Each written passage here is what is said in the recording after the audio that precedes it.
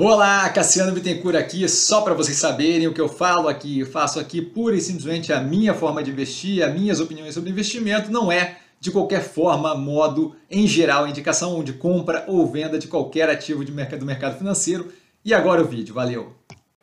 Olá, Cassiano Bittencourt, pelo movimento da semana, como vocês estão a par aí, quem acompanha o canal mais de perto, a gente não teve nenhum movimento essa semana novamente, então passamos diretamente para o que eu vejo como mais descontado de acordo com o fechamento de sexta-feira, dia 1 de março tá, de 2024. Lembrando as análises aqui embaixo na descrição desse vídeo, link, justamente para auxiliar vocês a encontrarem os ativos mais facilmente e poderem justamente dar uma olhada na última análise que foi feita e poder justamente avaliar ali com mais informação. O que eu faço aqui é só um breve é, resuminho, mas é muito mais interessante assistir a análise. Tá? Açaí, começamos com açaí, tá? a operação vem com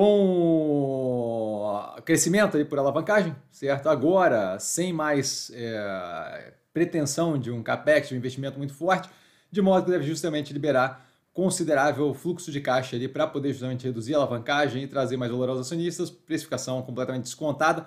Cruzeiro do Sul Educacional, a operação entregando consistentemente um resultado muito positivo desde o IPO lá atrás. Tá? A única questão ali que afeta o preço é justamente o receio que o mercado tem com relação ao setor como um todo, que se mostra descabido aqui, dado a qualidade operacional da empresa. Infracommerce resolveu a questão com alavancagem através do follow-on. É, além disso, vem com crescimento mais agressivo, talvez possa ser chamado, dependendo da continuidade, de exponencial, com a redução agressiva também da necessidade de investimento, que torna a operação muito positiva a médio e longo prazo.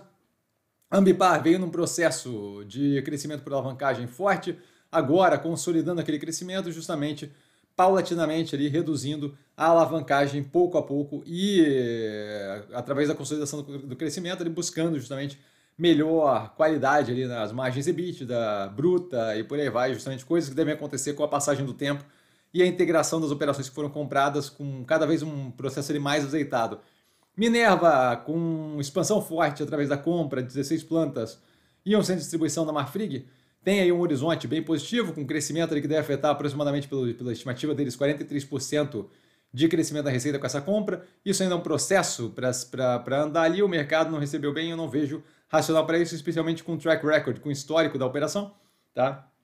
que fez um movimento parecido com a operação tendo muito menos capacidade de fazer o um movimento, com a compra da parte da América do Sul da JBS tempos atrás. MRV vem fazendo consistentemente e com sucesso o trabalho de retorno na qualidade operacional, a gente já vê isso se refletindo, é, vê isso refletindo cada vez mais né, em vários fatores ali relevantes da operação, redução da alavancagem, fluxo de caixa positivo, geração de caixa positiva nesse trimestre, através da incorporadora, aumento contínuo de margem bruta, então assim, é, é uma questão de tempo ali até voltar à qualidade operacional mais agressiva. Grupo Casas Bahia, passando por uma reestruturação que deve melhorar consideravelmente a qualidade operacional da empresa a médio e longo prazo, a questão ali era justamente a, a estrutura de capital, que deixa de ser uma questão com justamente o alongamento aí da nona debenture, é, o alongamento dessa dívida que bota a operação numa situação é, muito positiva e, e zero preocupante, aí, jogando justamente a alavancagem de 1,5 bi que estava no ano de 2024, 2025 lá para 36 meses depois, o que faz com que o caixa, cartões e recebíveis ali, mas basicamente caixa, é, consiga cobrir a, os compromissos financeiros da operação até 2026, até o final de 2026. Então, temos um horizonte muito positivo para poder justamente trabalhar na melhoria da qualidade operacional sem ter mais que se preocupar propriamente com a questão da alavancagem, tá? da estrutura de capital. Guararapes vem entregando resultados ali do, da parte de varejo de moda próximos ali do pré-pandemia. A parte que incomoda um pouco mais, que está um pouco mais defasada ainda, é a parte do, da Midway, a antiga financeira, agora Banco Digital. Tá? Mas isso daí é uma questão de aguardar aí que a gente vai ver redução de inadimplência, é, até pela modelagem, mudança na modelagem de concessão de crédito para operações ali para clientes mais seguros, tá? menos arriscados, de modo que é uma questão de tempo até a qualidade operacional retornar ao que a gente tinha anteriormente como um consolidado. Mais do que isso, o preço está abaixo do pior momento da pandemia, o que faz zero de sentido. A Edux vem entregando resultado muito positivo há bastante tempo, tá? o preço bem defasado.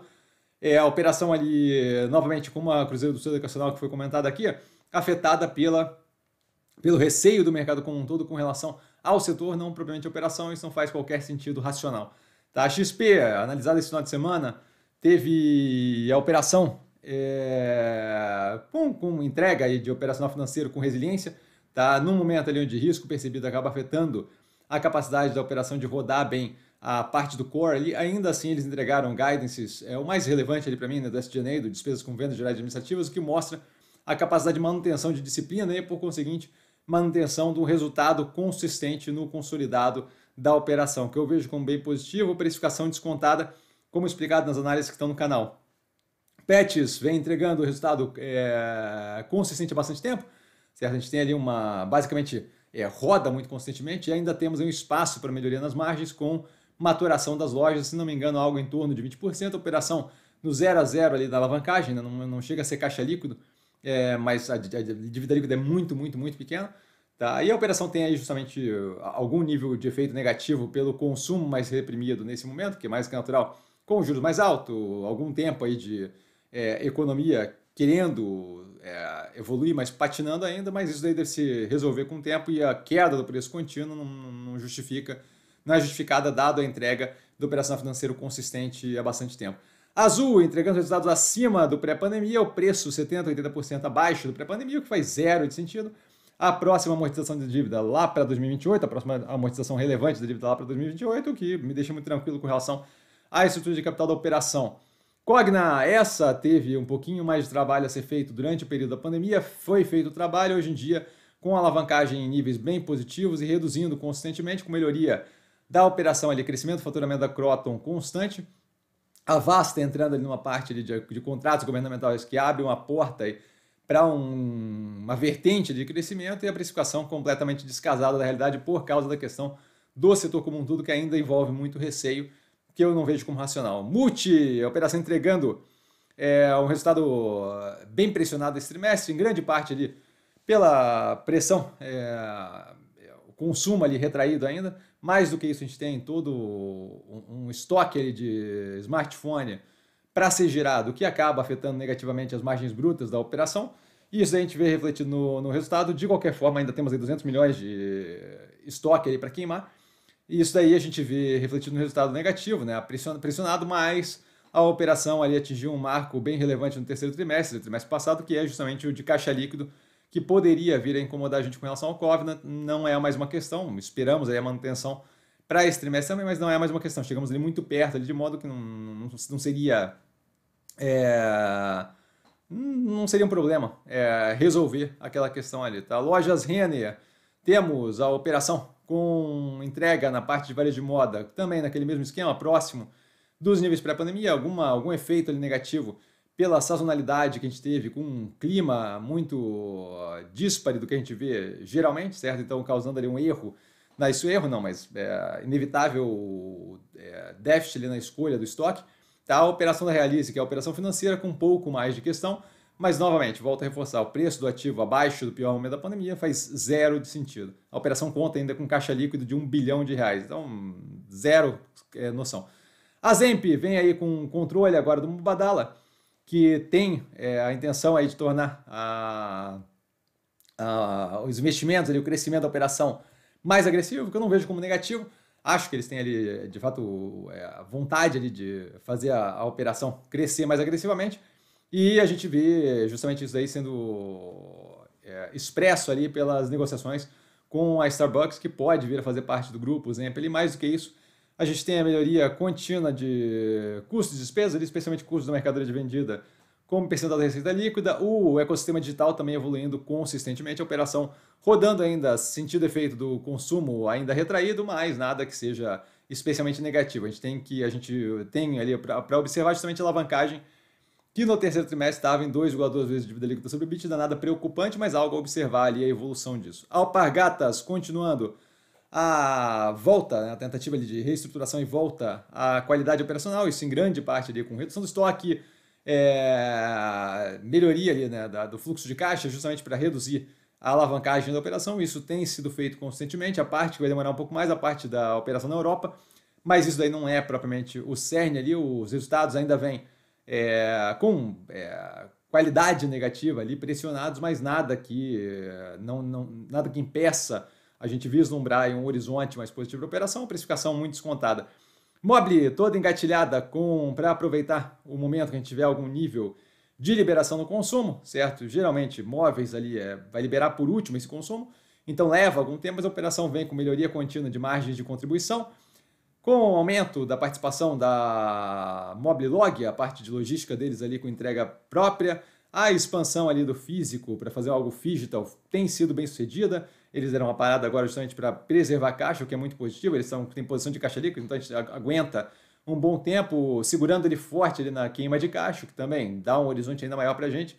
A precificação não condiz com essa dinâmica. Serena, acabando os investimentos aí de Assuruá 5 e Midnight One nesse primeiro trimestre, a gente tem um horizonte aí, ou de início novamente de um pipeline mais agressivo nos investimentos, que hoje em dia estão se resumindo ali a geração distribuída, que é de pequeno porte perto do que ela faz geralmente, ou então de distribuição agressiva de capital aos acionistas com redução forte de alavancagem, o que também seria bem positivo. Então a dinâmica é bem interessante, mais explicado, melhor explicado na análise que saiu recentemente, é, onde a gente vê ali claramente como é que está a operação. Tá? A Neogrid vem com foco mais forte ali agora, né, depois do, da consultoria prestada lá para a empresa que foi contratada, com foco mais forte em Consumer Packaged Goods, né, CPG, é, tipo lasanha congelada, é um bom exemplo. Tá? A operação ali é, vem, se, vem fazendo substituição de receitas das partes menos rentáveis para as mais rentáveis há algum tempo, e agora a gente deve ver algum nível maior de crescimento da receita e menos substituição, que deve voltar a trazer um crescimento mais agressivo para a operação. De qualquer forma, operação com caixa líquido, resultado ali, é, algum nível de oscilação, mas consistentemente com, com positividade. Tá? Então, zero preocupado, a precificação muito descontada. E Melnick aqui para fechar, construção civil vinculada ao setor ali, ao, à região geográfica de Porto Alegre e, e, região metropolitana, vem fazendo o trabalho que se propôs desde o IPO, que é basicamente a captação do IPO servir para mudar o land bank ali de um padrão permuta para um padrão pago com cash, que melhora é, margem bruta futura, das safras futuras a serem vendidas, mais importante com isso do que isso, junto a isso a gente vê eles trabalhando ali o estoque pronto e já engatilhando, não deixando começar a ter acúmulo dos estoques que estão ficando prontos, já vendendo eles no mesmo, no mesmo, nos mesmos anos da entrega. Tá? O que a gente tem acompanhado constantemente aí que tem sido bem positivo. E dúvida? Dúvida sempre no Instagram, arroba investir com sim. Só ir lá falar comigo, não trago a pessoa amada, mas sempre lá tirando dúvida. E vale lembrar que quem aprende a pensar bolsa opera como mero detalhe. Um grande beijo a todo mundo e nos vemos amanhã na abertura de mercado logo cedo e a live de segunda de noite. Valeu, galera. Beijão.